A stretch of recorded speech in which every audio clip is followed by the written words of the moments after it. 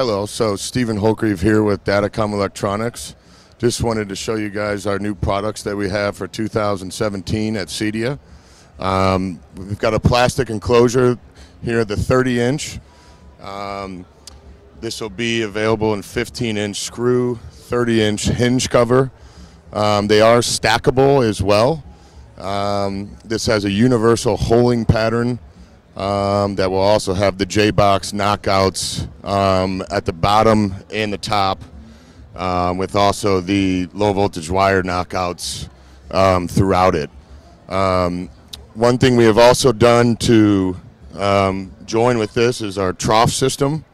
if anybody has issues managing bulk wire, this is a way that uh, similar enclosure type, but it's open at the top, so all the bulk wire can be managed um, all the way down and through and out the bottom. That would go to your rack or closet space where most of your bulk wire or AV space is being used. Um, and then obviously most uses would be um, for the rack. So um, this is going to be available in stacks of five, um, but this can go as high as you would need to.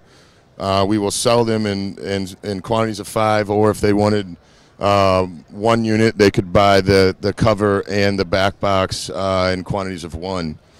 Um, so that's that's the new products that we have. Uh, we still also have all the recess cable plates, but uh, as you guys well know, we're we're available and here for some new items coming out at the end of this year.